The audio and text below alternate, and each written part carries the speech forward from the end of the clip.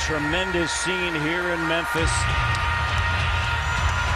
Fans on their feet throughout the late stages of the fourth and here in overtime.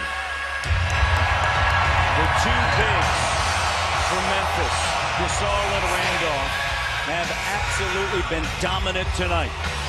Well, hasn't that been the case in the series thus far? They've just been too much for Oklahoma City to handle. They pound it inside. They make you come back, and the perimeter guys have done just enough damage by making big shots from the outside. With 22 plus seconds remaining now, you can't start fouling intentionally too early, or it makes it a long game. Inbounds pass stolen away. Fisher was looking for Martin. And a costly turnover. Fisher playing in his 239th career playoff game. Second all time behind Robert.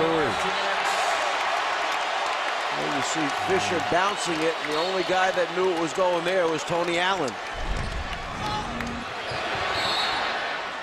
Timeout taken by Memphis. 20 second timeout.